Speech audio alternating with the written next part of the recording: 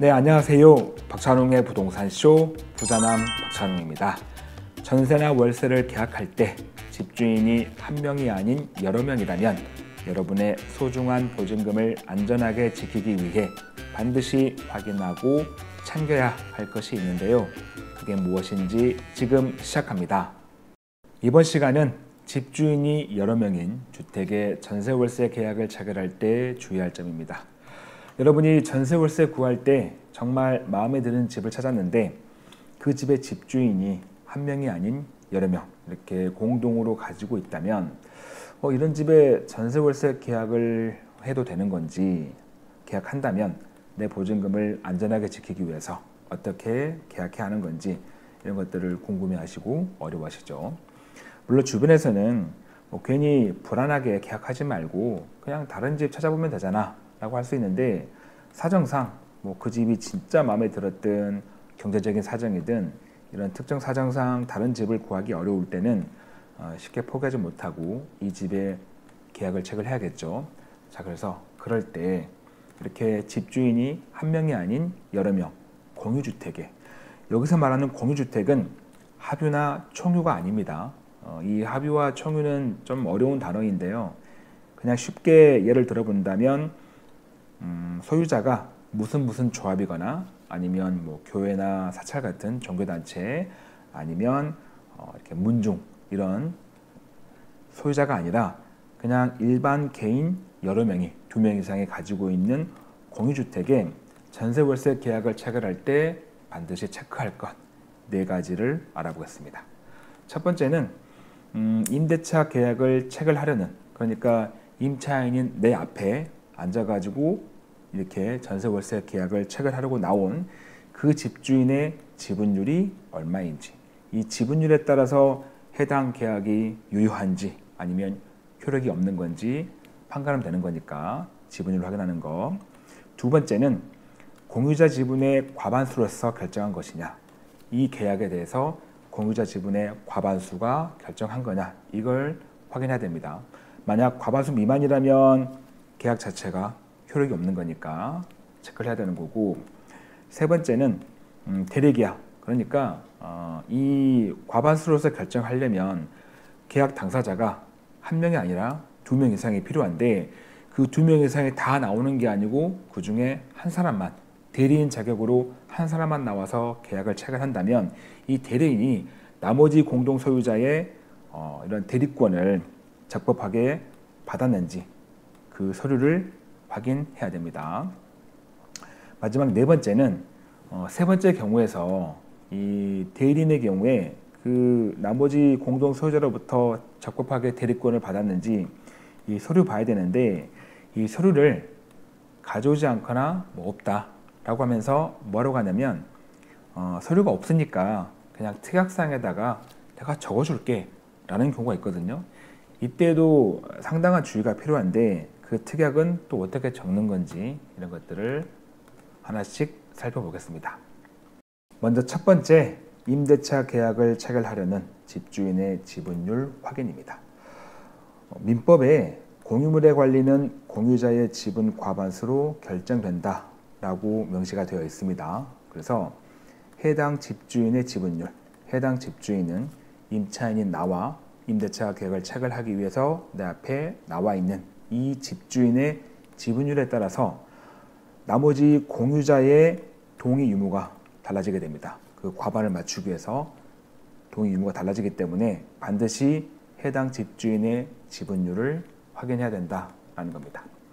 관련 법을 잠깐 보시면 앞서 말씀드린 대로 민법입니다. 제265조에 공유물의 관리, 보존에 대한 부분이 명시가 되어 있는데 본문을 보시면 공유물의 관리에 관한 사항은 공유자의 지분의 과반수로서 결정한다.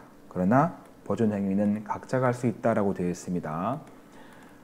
참고로 과반수는 음, 절반이 아닙니다. 절반은 딱 50%죠.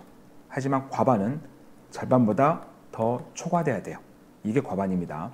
그래서 그 과반수로 결정되는 거고, 음, 이 관리 같은 경우는 보존 행위와 그 다음에 이용, 행위 이게 같이 섞여 있는 단어입니다. 그래서 이용과 행위는 과반수로서 결정하는 거고 보존 행위는 각자가 할 수 있습니다. 그리고 이 이용 행위의 수익 그러니까 어, 세를 줘가지고 수익을 발생하는 이 임대도 여기 들어있는 거죠. 그래서 이 임대차도 공유자의 지분의 과반수로서 결정을 해야 된다라는 겁니다. 그래서 만약에 공유자 지분 과반수 미만의 결정으로 임대차 계약을 체결하면 이게 무슨 말이냐면 음, 임대차 계약을 체결하기 위해서 나와 있는 이 집주인의 지분이 과반수 미만이에요. 그러면 이 계약은 유효한 임대차 계약으로 볼 수가 없습니다. 계약 자체가 유효하지 않으니까 주택임대차 보호법상 적법한 임대차 효력이 없는 거죠. 그래서 이 주임법에서 규정하고 있는 보호를 전혀 받지 못하게 됩니다. 그래서 첫 번째로 나하고 계약을 체결하기 위해서 나와 있는 이 사람의 지분율은 얼마인가를 반드시 확인해야 됩니다. 두 번째, 해당 임대차 계약이 공유자의 지분의 과반수로서 결정한 것인가의 부분입니다. 어, 이건 세 가지 예로 나누어서 설명드릴 텐데요. 먼저 첫 번째 예는 A, B, C가 각각 3분의 1씩 지분 형식으로 주택을 공유하고 있습니다. 자, 이 집의 전세 월세 계약을 체결하려면 누구하고 임대차 계약을 체결해야 누구를 임대인으로 해서 계약을 체결해야 문제가 없을까? 앞서 이 과반수로서 결정해야 된다라고 했잖아요. 그러면 이 경우에 과반수가 되려면 3분의 2가 돼야 되는데 3분의 2가 되려면 AB 또는 BC 또는 AC를 임대인으로 해가지고 계약을 체결해야 그래야 공유자의 지분의 과반수로서 결정한 걸로 인정을 받을 수가 있습니다. 그 말은 곧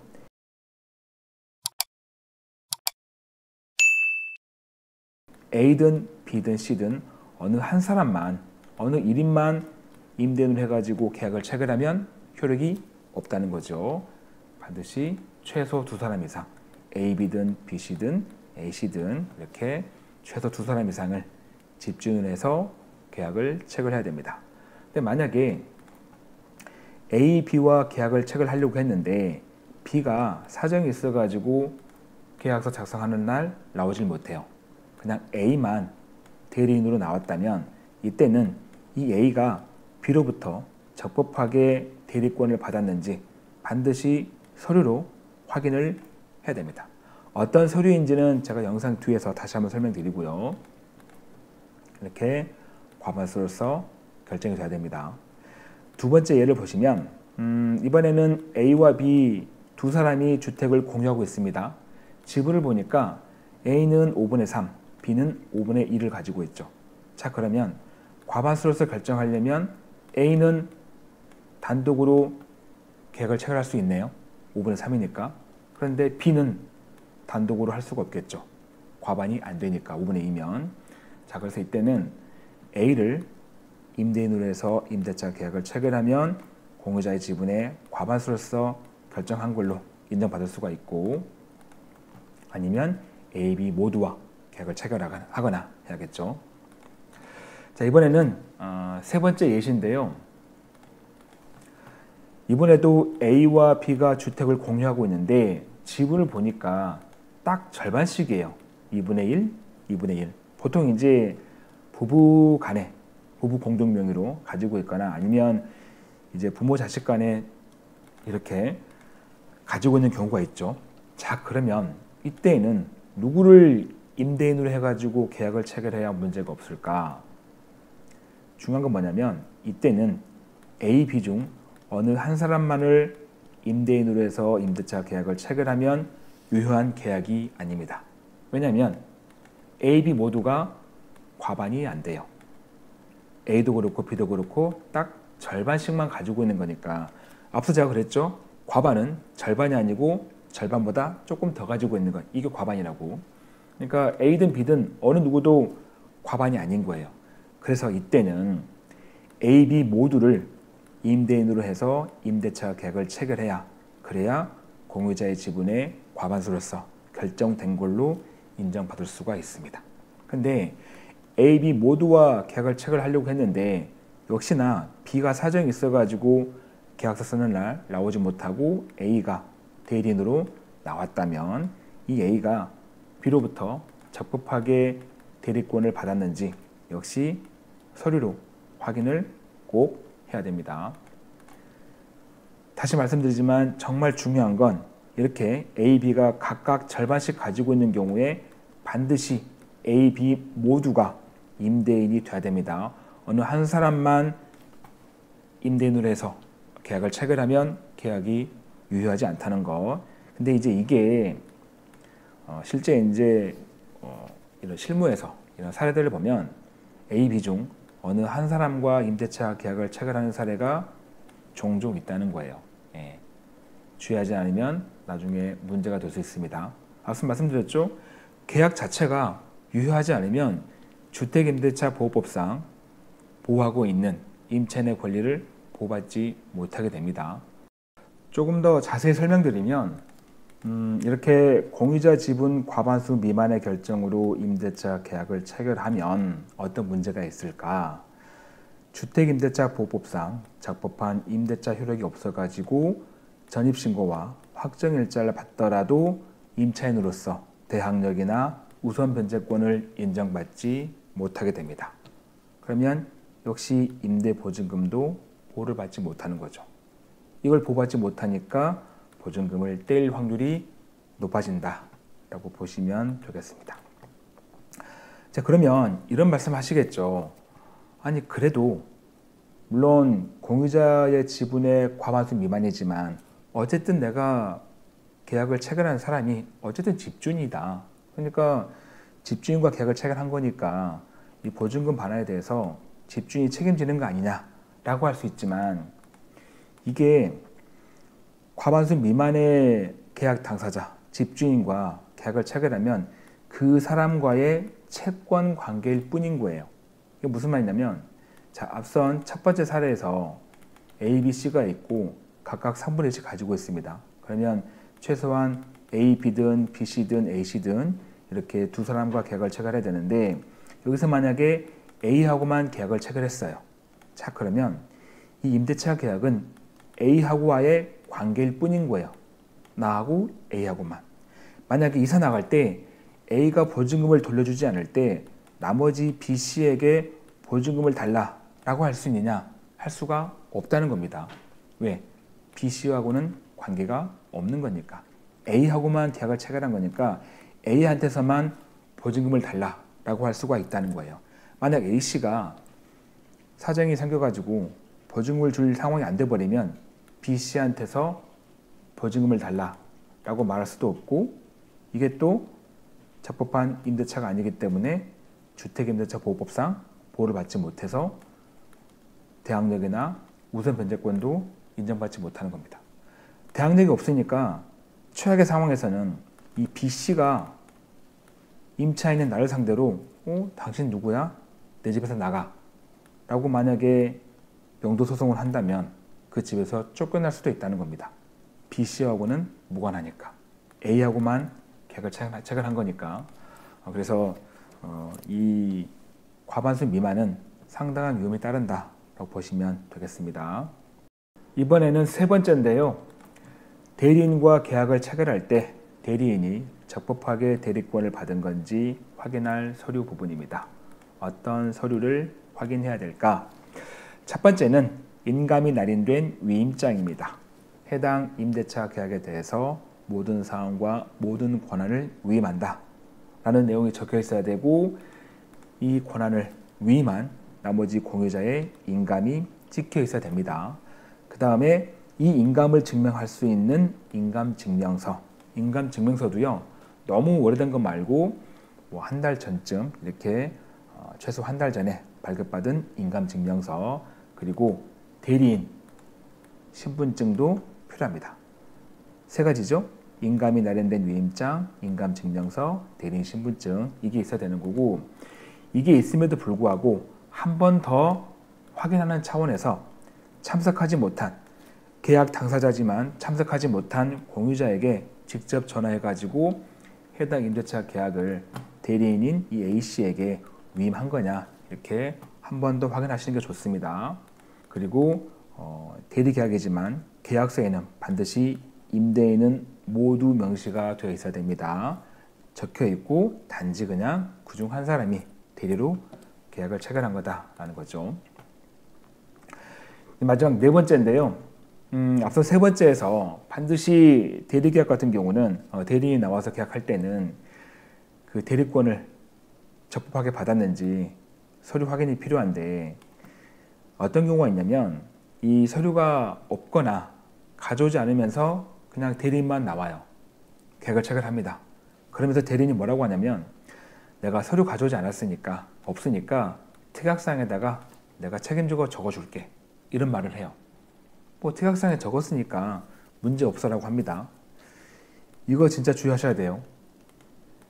실제로 음 최근에 이제 저도 어 뭐 조카 일 때문에 좀 다니다 보니까 현장에서 이렇게 계약을 쓰는 경우가 있더라고요.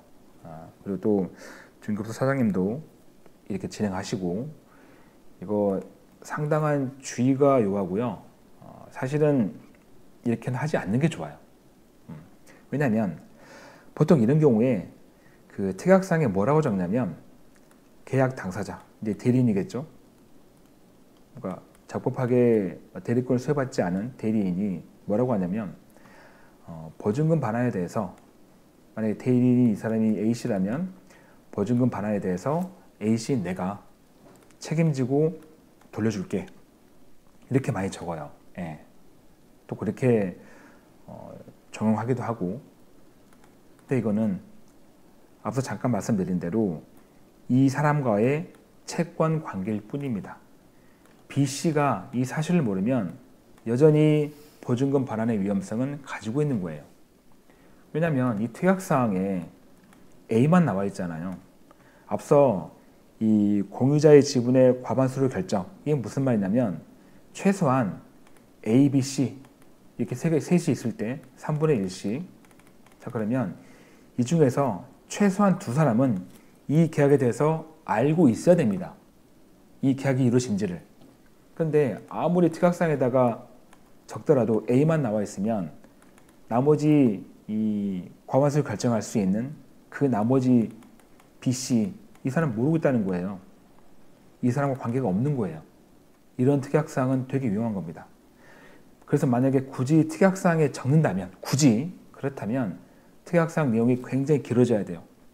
뭐 예를 들어본다면 어, 필요한 서류 없이 A와 계약을 체결했지만 B, C가 해당 계약에 대해서 인지하고 있고 알고 있고 그 사실을 서류는 없지만 A에게 위임했다는 것을 인정하고 그리고 나중에 보증금 반환 문제에 있어서 보증금 반환도 A와 B가 C가 공동으로 책임을 진다. 이런 내용이 들어가야 돼요. 근데 그렇게 특약상을 얘기하면 웬만해선 그렇게 집주인이 나와서 안 써줄 거예요. 네, 귀찮으니까. 하지만 임차인은 내 보증금을 안전하게 지키는 게 목적이잖아요. 그래서 웬만하면 특약상으로 하는 것은 웬만하면 하지 않는 게 좋고 굳이 적을 거라면 핵심은 나머지 공유자 B, C가 해당 임대차 계약에 대해서 알고 있다는 것, 인지하고 있다는 것. 또 한 가지는 이 B, C가 해당 임대차 계약에 관한 모든 것을 A 씨한테 위임했다는 것. 또 한 가지 보증금 반환에 있어서 A, B, C 모두가 공동으로 책임진다는 것. 나머지 하나 이것도 굉장히 중요한데요. 이와 같은 특약사항 기재 내용을 B, C에게 전화해서 확인하고 확인된 내용을 녹음해서 가지고 있겠다는 것. 임차인이. 이것까지 B, C에게 확인을 받아야 돼요. 그래야 그나마 나중에 문제가 될 때 하다못해 뭐 소송 가가지고 판사님한테 뭘 내밀 게 있죠. 증명할 게. 단순하게 그냥 그 사람 A씨가 내가 책임질게. 이건 의미가 없는 거예요. 여전히 그 사람한테만 내가 주장할 수 있으니까 나머지 공유자한테는 어떤 말도 못하는 거예요. 예. 그 당연히 앞서 말씀드렸던 주택임대차 보호법상 네, 보호받지 못하는 건 똑같은 거고 그리고 또 한 가지가 있는데요. 보통 2분의 1씩 가지고 있고요. A, B가 그리고 AB가 부부예요. 자 그러면 가끔 이제 주변에서 어떤 얘기 하냐면 부부 공동 소유인 경우에 부부는 일상가사 대리권이라고 해가지고 굳이 그렇게 서류가 없더라도 연대 책임이 있다 이런 말을 해요. 그래서 부부 공동명의 같은 경우에는 굳이 그렇게 서류가 없어도 문제가 없다라고 하는데 그렇지가 않다는 거예요. 이 부부간의 일상가사 대리권은 부부가 공동체로서 가정생활상 항시 행하여지는 행위 이게 이제 되게 범위가 작아요. 돈으로 따지면 작은 돈들, 예, 일상 생활비 정도 그런 거라서 뭐 임대, 특히 이제 가옥의 임대죠. 이런 것들은 일상 가사권, 아, 일상 가사 대리권의 범위로 보지 않습니다. 그 범위를 넘어선 거예요. 그래서 이 일상 가사 대리권이 있으니까 부부 공동명이고 뭐 굳이 서류 없어도 돼.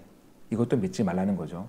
무조건 공동 소유는 네, 반드시 공유자의 지분에 과반수로 결정이 되고 그 과반수로 결정되는 그 임대인이 다 나와야 되는 거고 어느 한 사람만 나온다면 인감이 내린된 위임장, 인감증명서, 대리인 신분증 이건 반드시 확인하고 받아야 합니다.